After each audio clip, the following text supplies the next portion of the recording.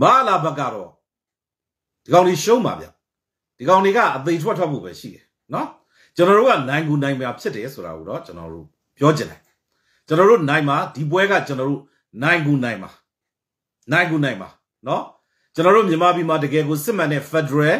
Democracy ပြည်ထောင်စုကိုတည်ထောင်ပြုနိုင်မှာဖြစ်တယ်အောင်ပွဲကကျွန်တော်တို့ရကူရမှာဖြစ်တယ်မအလမင်းအောင်လိုင်ကျမ်းပတ်စစ်တပ်ကနေ့စဉ်နဲ့မြ သူကနော်အထူးသဖြင့်မအလပေါ့ဗျာနော်သူကနေ့စဉ်နဲ့မြသူ့ကိုယ်သူကြိုးကွင်းစွန့်တယ်အားလုံးပဲမင်္ဂလာပါခင်ဗျာညီနောင်လေး channel ကနေကြိုဆိုပါရစေကျွန်တော်တို့ရဲ့ channel ကဆိုရင်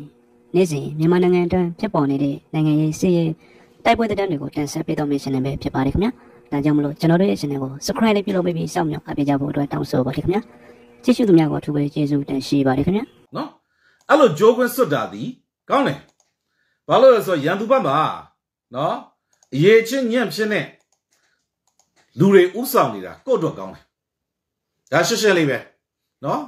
ဆိုတော့မအလာဒီအလွန်အလွန်ညံ့ဖြစ်တဲ့သူဖြစ်တယ်ကြုံမှုခဲ့တဲ့မြတ်တွေ့ဘူးတော့ဗျစစ်အာဏာရှင်တွေထဲမှာမအလာဒီအညံ့ဆုံးအဖြစ်ဆုံးနော်အသုံးမကျဆုံးအတ္တအကြီးဆုံးအရက်စုပ်ဆုံး အော်ဟုတ်ကဲ့ပါဖတ်ပြပါမယ်နော်ကျွန်တော်ကျွန်တော်မျက်လုံးမြင်ရရင်ပြောနော်နော်ဖတ်ပြပါမယ်ဆိုတော့မဟာလာသည်အညံ့ချင်းဆုံးပဲအဲ့ဒါကြောင့်မလို့သူကနေ့စဉ်သူ့ကိုယ်သူကြိုးကွင်းစွတ်တယ်သူ့လည်းပဲအောင်သူအခုနောက်ဆုံးစွတ်သွားတဲ့ကြိုးကွင်းကတော့အားလုံးသိတဲ့အတိုင်းပဲနော်ကျွန်တော်တို့ mandatory military service ပေါ့ဗျာနော်ပြည်သူအယောက်ချင်းစီတိုင်း စစ်မှုထမ်းရမယ်ဆိုတဲ့ဟာပေါ့နော်စစ်မှုထမ်းရမယ်ဆိုတော့အခုတခါထပ်ပြီးတော့ပြောပြန်ပြီနော်မိန်းကလေးတွေမပါဘူးဆိုပြီးတော့ဆိုတော့အဲ့ဒီမိန်းကလေးတွေမပါဘူးဆိုတဲ့အကြောင်းအရာနဲ့ပတ်သက်ပြီးတော့လေ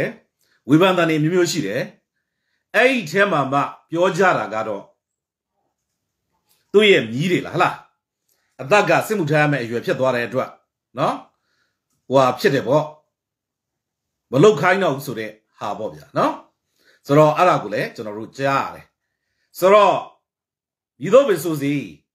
မဟာလာဂျမ်ဘတ်စစ်တပ်ဒီဘလို့မှသူဖုံးမနိုင်ဖိမြနော်အရန်ကိုသူ့ဘက်မှာလူရင်ရတယ်ပြုံးတီးနေပြီနော်ပြုတ်ပြုတ်ပြုံးနေပြီပြက်ပြီးပြေးနေရပြီနော်ဆိုတော့အဲ့ဒါကိုပြောတာဆိုတော့မေချောမေချောဆိုတာဆီယာမနဲ့တူတယ်နော်ဆီယာမကြီးတိတ်မမြောက်နေဗျကျွန်တော်ဒီနေ့ညီကုန်းချုပ်မှာ ယမမင်းပုံမြင်ကိုဒီနေ့ပြောပြအောင်ပြောနော်ဆိုတော့ဆိုတော့ကဒီကောင်လေးကလုံးဝကိုရှုံးကိုရှုံးမှာဒီကောင်လေးရဲ့ညီကုန်းကလည်းတနေ့ထက်တနေ့ပို့ပို့ပြီးတော့နီးလာပြီဖြစ်တယ်နော်ဆိုတော့သူတို့တွေဒီမြန်မာပြည်အနက်မှာလည်းသူတို့နေရာအနှံ့ကနေပြီးတော့အနွာခံနေရတယ် စူးစီးမှုနဲ့ဗျိုင်တူတက်ဆိုရမှတက်ဆိုရမယ်ဒါမှနိုင်မှာမှန်တာပေါ့ဆရာကြီးနော်ကျွန်တော်လည်းဒီနေ့အဲ့ဒီအကြောင်းလေးကျွန်တော်တို့ပြောချင်ပါတယ်နော်မှန်ပါတယ်ဆိုတော့မဟာလာဒီတနေ့နေ့စဉ်နဲ့အမြတ်သူအမားတွေလုပ်နေတယ်အမားတွေလုပ်ပြီးတော့အရေးချင်းမရှိဘူးအဲ့အရေးချင်းမရှိအသုံးမကျတဲ့ဂျားတွေကနော်နေ့စဉ်နဲ့အမြတ်သူလည်းပြောသူကြိုးကွင်းစွတ်နေတဲ့အတွက်ကျွန်တော်တို့တော့ကောင်းတယ်အဲ့တော့ကျွန်တော်တို့အများအားနားလေလက်ခံထားရမှာကရန်သူဘက်မှာနော် အရေးချင်းမရှိတဲ့သူတွေညံပြင်းတဲ့သူတွေအတ္တကြီးတဲ့လူတွေအသုံးမကျတဲ့သူတွေနော်ခေါင်းဆောင်နေတာသည်ကောင်းတယ်အဲ့တော့ကိုယ့်ဘက်ကြရင်ရောကိုယ့်ဘက်ကြရင်တော့အဲ့ဒါတွေနဲ့ဗျောင်းပြန်ပေါ့ဗျာနော်အဲ့ဒါတွေနဲ့ဗျောင်းပြန်ပေါ့နော်အဲ့ဒါတွေနဲ့ဗျောင်းပြန်ဖြစ်တော့မှသာကိုယ့်ဘက်ကအောင်မြင်ပါပေါ့နော်ဆိုတော့နောက်ဆုံးကျွန်တော်တို့အခုမြင်နေရတဲ့အတိုင်းပဲလေရခိုင်စစ်မျက်နှာကြည့်မလားကချင်စစ်မျက်နှာကြည့်မလားချင်းစစ်မျက်နှာကြည့်မလား နော်အရှမ်းရှမ်းမြောက်ကိုကြည့်မလားရှမ်းမြောက်မှာဆိုရင်အခုဆိုရင်အဲ SSPP ကပါဝင်လာပြီဆိုတာကိုကျွန်တော်တို့တွေ့ရတယ်နော်ကြိုးစုပါတယ်ဒါအပြင်ကိုကျွန်တော်တို့မွန်ပြည်သက်ပါတီပါဝင်လာပြီခွဲထွက်တွေပါဝင်လာပြီနော်ကရင်ကလည်းရာဇသန်တွေပေးနေပြီနေပြီးတော့ထိုးဖောက်ပြီးတော့တိုက်မယ်ဆိုပြီးတော့နော်ဆိုတော့ကြည့်လိုက်မယ်ဆိုရင်ကျွန်တော်မြန်မာပြည်မှာရှိတဲ့အဓိကတိုင်းရင်းသားလူမျိုးစုကြီးရှစ်စုပေါ့ဗျာနော်နော်ရှစ်စုပေါ့အကုန်လုံးညီညီညွတ်နဲ့တိုက်တယ် စစ်မှုထမ်းမယ်ပြောပြီးတဲ့လေးလပိုင်းမှစပြီးလုပ်မယ်ပြောပြီးတဲ့ခုဘာလို့ပေါ်တာဆွဲနေတာလဲသိကြပါတယ်တဲ့အမိန်ရပေါ်တာလားသိချင်မိပါတယ်တဲ့ဟုတ်ကဲ့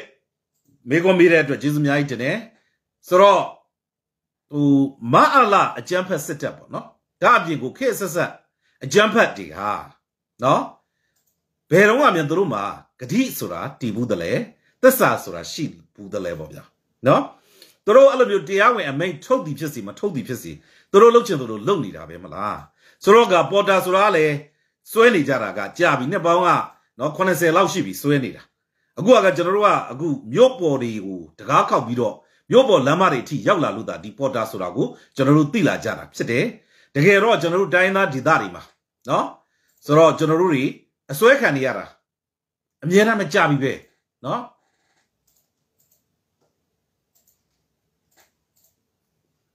နော်ဟုတ်ကဲ့ဆိုတော့သူတို့ဒီအဲ့ဒီဥပဒေထုတ်သည်ဖြစ်စေဥပဒေမထုတ်သည်ဖြစ်စေသူတို့ထုတ်တဲ့ဥပဒေဒီလည်းတရားမဝင်နော်ဒါပေမဲ့သူတို့ဒီလောလောဆယ်တော့တိုင်းပြည်မှာလက်နက်ပြပြီးတော့တိုင်းပြည်မှာမိုက်ရိုင်းရန်ကားနေတယ်ပေါ့ဗျာနော်အဲ့ဒါတော့ရှိတာပေါ့နော်ဆိုတော့ကသူတို့ပြောတဲ့စကားတွေအကုန်လုံးဒီတခုမှမယုံရပါသစ္စာလည်းမရှိပါနော်သူတို့တွေဒီအကြမ်းဖက်လူရန်ကားသေးတာဖြစ်တယ်ဒါကြောင့်မလို့သူတို့လုတ်ချင်တာလုတ်မယ် လုတ်လဲလုတ်ခဲ့တယ်လုတ်လဲလုတ်နေတယ်နောင်လဲလုတ်အောင်မှာဖြစ်တယ်အဲ့တော့ကျွန်တော်တို့ကဒီဟာကိုပေါ့အဖြေတွက်ကဘာရှိတယ်လဲအဖြေတွက်ဆိုရင်တော့ကျွန်တော်တို့မြန်မာပြည်မှာအဲ့ဒီအကြမ်းဖက်စစ်တပ်ကြီးတစ်ခုလုံးမရှိမှရမှာအဲ့ဒီအကြမ်းဖက်စစ်တပ်ကြီးတစ်ခုလုံးမရှိမှအဲ့ဒီမြန်မာတပ်မတော်ဆိုတဲ့ institution တစ်ခုလုံးကိုဖျက်သိမ်းပြရမှာပါကျွန်တော်တို့အဲ့ဒါတွေကုစားဖို့မစင်းစားပါနဲ့အဲ့ထဲကလူတွေက ပြန်သုံးလို့ရတယ်ပြန် train လုပ်လို့ရတယ်တပိတ်ဟိုဒစိတ်ကလေးပြောင်းလိုက်မယ်လို့မစင်းစားပါနဲ့နော်ဟိုမလွယ်ဘူးထင်တယ်လို့မလွယ်ဘူးအဲ့တော့ကျွန်တော်အကြံပြုတင်ပြချင်တာကဒီအကြမ်းဖက်စစ်တပ်ကြီးကလုံးဝကိုဖျက်သိမ်းရမယ်ပြီးတော့အဲ့ဒီမှာပြစ်မှုကျူးလွန်ထားတဲ့သူတွေအကုန်လုံးကိုနောက်ကျောင်းပြန်ပြီးတော့ဟိုးဒေါ်လာကောင်စီကနေစပြီးတော့နော်ကျွန်တော်အရေးယူအပြစ်ပေးကြံတဲ့သူတွေကိုအယက်သားအသွင်ပြောင်း ပြီးတော့အဲ့စစ်တပ်မှာလုတ်ခဲ့ဘူးတဲ့သူတွေနော်စီရီယာမလုတ်ခဲ့ဘူးဆိုရင်တို့တွေကိုလုံးဝကိုလက်နက်ကိုတသက်စာနော်လုံးဝမကန်ရဆိုတဲ့ဥပဒေအထိကိုကျွန်တော်တို့ကထုတ်ပြရမှာပါအမေရိကန်ဒီမိုကရေစီတိုင်းပြည်ဖြစ်တယ်တကယ်ကိုကဘာကစံထားတဲ့တိုင်းပြည်ကြီးဖြစ်တယ်နော်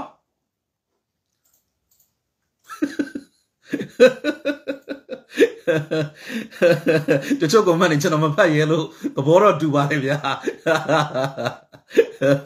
နော်အဲ့တော့ကျွန်တော်ဆက်ပြောမယ်ဗျာ American ဒီဒီမိုကရေစီတိုင်းပြည်ဖြစ်တယ်လူခွေရေးတွေကိုလေးစားလိုက်နာတယ်သူတို့ရဲ့ constitution နော်သူတို့ရဲ့အခြေခံဥပဒေထဲမှာအကုန်လုံးထည့်ပြောထားတယ်အဲ့မှာ American လုတ်သွားတဲ့နှစ်ချက်ကိုကျွန်တော်မိမောင်းထိုးပြကြတယ်အဲ့ဒါကဘာလဲဆိုတော့အားလုံးပဲဒုတိယကမ္ဘာစစ်ကြီးဖြစ်တဲ့အချိန်ကိုမှတ်မိပါပေါ့ကျွန်တော်တို့လည်းမမွေးသေးပါဘူး စာထဲမှာဖတ်ခဲ့ဘူးတော့ပြောတာပါနော်1945 club ဟုတ်ပြီနော်အဲ့လောက်သိရင်မစိုးကိုကအဲ့အရင်ဘဝကလည်းစစ်သားဖြစ်ဖြစ်ခဲ့မှာပေါ့ကိုလည်းမသိဘူးလေနော်ဆိုတော့ထားတော့သဘောတရားပြောတာအဲ့တော့ဒုတိယကမ္ဘာစစ်ကြီးဖြစ်တဲ့အချိန်မှာအမေရိကန်ကလုတ်ခဲ့တဲ့ထူးခြားတဲ့နှစ်ခုရှိတယ်ကောင်းဤဆိုးကြီးကိုကျွန်တော်မပြောဘူးအချက်လက်ကိုပြောမယ်နော်အချက်နှစ်ချက်ကိုကျွန်တော်ပြောမယ်နော်အချက်နှစ်ချက်ကိုကျွန်တော်ပြောမယ်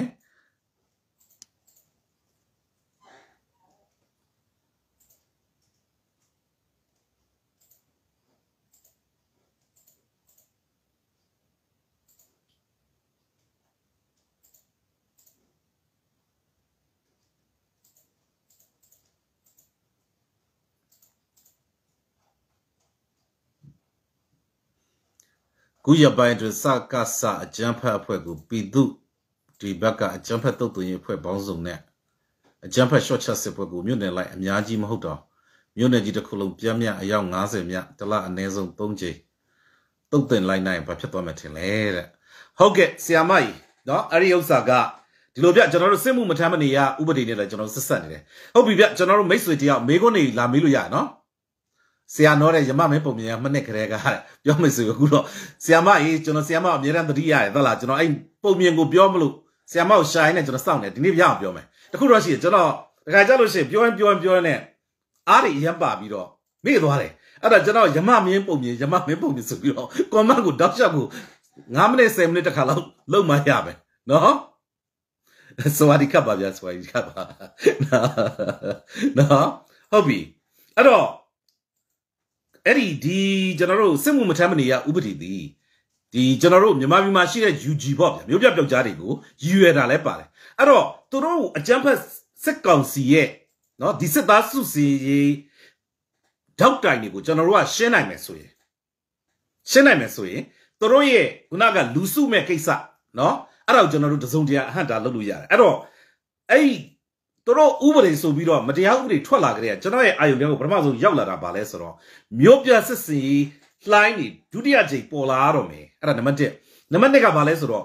ကျွန်တော်တို့ရဲ့တိုင်းရင်းသားဒေသအသီးသီးဗမာပါဝင်ဒေသအသီးသီးကိုနောက်ထပ်လူလှိုင်းတွေအများကြီးရောက်လာတော့မယ်ဆိုတော့နှစ်ခုကိုကျွန်တော်တို့သွားတွေ့ရတယ်နော်အဲ့တော့ခုနကဆီယာမကတော့ဆွေးနွေးသွားတဲ့အကြောင်းအရာကနော်မလာရဲ့ရန်နေရပေါ့ဗျာမြို့ပေါ်ရန်နေရတွေပေါ့နော်အဲ့ဒါကိုတလားကိုစခ 150လောက်ကိုရှင်းနိုင်မယ်ဆိုရင်ကျွန်တော်နားလည်သူတို့ပြောတာနော်မဟုတ်ရင်ပြစ်ပေးနော်ဘလို့နေမလဲပေါ့ဆီယာမကြီးအဲ့ဒါကလေကောင်းတာပေါ့ကျွန်တော်တို့ဒီတော်လေးအဆောက်ပြန်ကြည့်လေကျွန်တော်တို့စားခဲ့တယ်ဆိုတော့မျိုးပြပျောက်ကြားနဲ့စားခဲ့ကြတာမဟုတ်ဘူးလားမျိုးပြပျောက်ကြားတွေဆိုတော့နော်နော်မျိုးပြပျောက်ကြားတွေနဲ့စားခဲ့ကြပြီးတော့အမှအုတ်ကြီးတွေဒလန်တွေစခတွေရက်ခတွေကျွန်တော်တို့ရှင်းခဲ့နိုင်လို့နော် ကျွန်တော်တို့ဒီပါဆိုလို့ရှိရင်တောနဲ့မျိုးနဲ့လမ်းကြောင်းပေါက်တာတို့နော်အုတ်ချုပ်၍မရစီရတို့အများကြီးပဲကျွန်တော်တို့လုံနိုင်ခဲ့ကြတယ်နော်ဒါပေမဲ့ကျွန်တော်လေပြေတုံးတက်ကြိုးတွေလည်းဖြစ်ခဲ့ကြတယ်ပေါ့ဗျာနော်ဆိုတော့ကဒီဟာတွေကိုကျွန်တော်တို့ထပ်မံပြီးတော့အသက်တပံခွန်အားဖြည့်နိုင်ဖို့တွေကျွန်တော်တို့ကြိုးစားကြရမှာပေါ့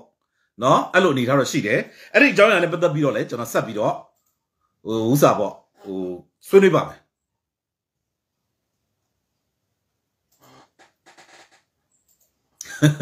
ကျွန်တော်ခုနကပြောတယ်မလားနော်တချို့ comment တွေကကြိုက်တယ်ကျွန်တော်မဖတ်ရဲဘူးဆိုကျွန်တော်ဒီလိုဗျာကျွန်တော်တို့တော်လန်ရေးဆိုတာကနိုင်ငံရေးနော်နိုင်ငံရေးဆိုတော့နိုင်ငံအရေးကိုနိုင်ငံရေးကိုကျွန်တော်တို့ပုဂ္ဂလ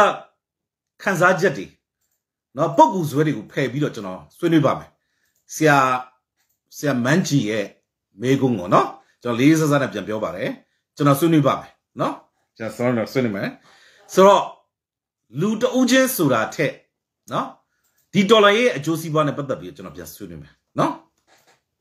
ဟုတ်ပြီအဲ့တော့မဟာလာဒီနေ့စဉ်ဂျုံဂျုံကြနေပြီပြုတ်ပြုတ်ပြုံးနေပြီဒီကောင်လေးဒီတိုက်တိုင်းရှုံးနေပြီနော်တက်တိုင်းပြက်နေပြီခွဲလို့ဝက်လို့သေပြီးတော့ခွဲလို့ဝက်လို့အဖမ်းခံရပြီခွဲလို့ဝက်လို့ပြေးနေရပြီဆိုတော့နောက်ဆုံးဘယ်လိုဖြစ်လာလဲဆိုတော့ဒီ mandatory military service ပေါ့ဗျာ drafting ကို နော်သူဘာကြောင့်လုပ်ရလဲဆိုတော့သူရှိမှာစစ်ခွေးအင်အားမရှိတော့ဘူးအဲ့ဒါကြောင့်မလို့သူတို့လုပ်တယ်ဒါလည်းတစ်ခုရှိတယ်နောက်တစ်ခုကဘာလဲဆိုတော့နော်နောက်တစ်ခုကဘာလဲဆိုတဲ့အခါကျတော့ခုနကပြောသလိုပေါ့မျိုးပြပျောက်ကြားတွေရဲ့ network တွေကိုလည်းသူတို့ရှင်းကျင်တယ်နောက်တစ်ခါကျတော့ပြည်သူတွေအကုန်လုံးကိုအရင်သိခိုင်းတယ်ဒီဟာကိုကျွန်တော် live ထဲမှာအများအားပြောနေကြဒီကောင်လေးဒီပြည်သူကိုအရင်သိခိုင်းပါဆိုတော့ကျွန်တော်တို့ပြည်သူနဲ့ပြည်သူအချင်းချင်းကျွန်တော်တို့လာပြီးတော့ပြန်ပြီးတော့ရန်တိုက်ပေးတာပေါ့နော်ဆိုတော့ကခုနကကျွန်တော်တို့ပြောမယ်ပြောမယ်ဆိုတာတွေကကျွန်တော်ပြန်ပြန်ပြီးချိန်မယ်နော် ဒုတိယကမ္ဘာစစ်တော့အမေရိကန်လောက်သွားတာနှစ်ချက်ရှိတယ်နော်အမေရိကန်လောက်သွားတာနှစ်ချက်ရှိတယ်အဲ့ဒီနှစ်ချက်ကနော်ကောင်းတာမကောင်းတာဟုတ်တာမဟုတ်တာပတ်ထားဒီမိုကရေစီဘိုးတော်ကြီးအမေရိကန်လောက်သွားတာနှစ်ချက်ရှိတယ်အဲ့နံပါတ်1ဘာလောက်သွားလဲဆိုတော့ဒုတိယကမ္ဘာစစ်ကြီးဖြစ်တဲ့အချိန်မှာနော်ဒီဘက်ကအမေရိကန်ရဲ့အင်္ဂလန်ရဲ့နော်ပြင်သစ်ကရုရှားရဲ့တစ်ဖက်နော်ဟိုဘက်ကကျွန်တော်တို့ဂျပန်ရဲ့ဂျာမနီရဲ့အီတလီရဲ့တစ်ဖက်ပေါ့နော်ဆိုတော့ကဂျပန်ကအမေရိကန်ကို နော်ပလဲစိတ်ကန်းကိုဘုံကျဲပြီးတော့လျှက်တစ်ပြက်တိုက်ခိုက်ပြီးတော့ဝင်ပြီးတော့ဒုတိယကမ္ဘာစစ်မှာပါလာတယ်အဲ့တော့ဖြစ်ချင်တော့အမေရိကန်နိုင်ငံမှာဂျပန်လူမျိုးတွေရှိခဲ့တယ်အဲ့တော့ဒုတိယကမ္ဘာစစ်ကာလမှာအမေရိကန်ကဘာလုပ်ပလိုက်လဲဆိုတော့နော်အဲ့ဂျပန်လူမျိုးတွေအကုန်လုံးကိုတန်နေရာမှာစုပြီးတော့ကန့်မှန်သွားထားလိုက်တယ်နော်အဲ့ဒါမျိုးလုပ်ခဲ့တယ်ဒါကဟိုကျွန်တော်ပြောရမယ်ဆိုရင်တော့ဒါကြီးကတော့တော်တော်အယုတ်ဆိုးအကြီးတန်းတဲ့ဟာကြီးပေါ့နော် ဟိုသူတို့လိုဒီမိုကရေစီဘိုးတော်တိုင်းပြည်ကြီးကလုပ်တယ်ဆိုတော့တော်တော်ကိုအယုတ်ဆိုးကြီးတန်းတယ်နော်အဲ့ဒါတခုဒုတိယတစ်ခုကဘာလဲဆိုတော့ဂျပန်ကနောက်ဆုံးနော်နာဂစကီနဲ့ဟီရိုရှီမာမှာနျူကလ িয়ার ဘုံအကျဲခံလာတယ်အကျဲခံရတဲ့အချိန်မှာဘာဖြစ်တယ်လဲလုံးဝနော်လုံးဝလုံးဝဂျပန်နေအကုန်လုံးပြပြမောက်သွားတာပြပြမောက်သွားတာအဲ့တော့ဘယ်လိုဖြစ်တယ်လဲဆိုတော့လုံးဝလက်နဲ့ချတယ် total surrender ပေါ့ဗျာနော်လက်နဲ့အကုန်လုံးချတယ် လက်နက်ချတဲ့အချိန်ကြတော့မှအမေရိကန်ကစကားပြောတာ